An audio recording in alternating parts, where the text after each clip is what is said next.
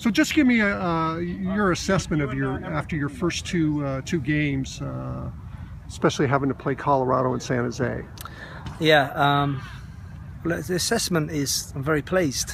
Um, whenever we, we step out on Bonney Field, we want to put a good show on, and like I said before, there was a danger that we would be nowhere near ready because of the, the time frame we had to get the players um, up and running in. So the fact that we was able to compete was really really encouraging and certainly the second game.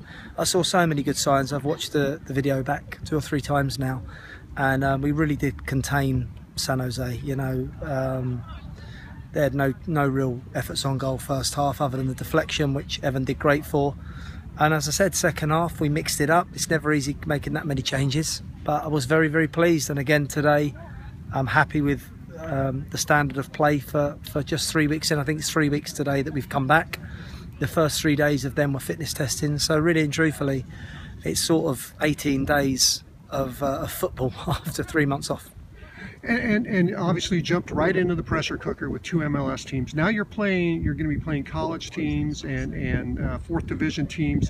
What's the challenge there for you for you guys uh, before you start USL play? Uh, mentality. The mentality that it doesn't matter who we're playing. We have a identity. I'm able to stand on the side and identify who we are and what we're trying to be, and that is a very well organised team. Um, stop uh, teams having an open view of our goal and at the other end create as many chances as possible. So I've seen that. I saw it in uh, in the last game. I saw the way we found space very well after, you know, playing on the counter attack. Maybe we'll change our, our tactics a little bit, be a bit, bit more aggressive higher up the field in a couple of the games. But at the same time, it's it's the relationships between the players. It's the understanding of what of uh, of, of what I'm looking for and also the bonding of the team. You know, the team bonding is crucial. Um, there's a lot of smiling faces today. I think a lot of them are very, very pleased with their performances, and rightly so at the weekend.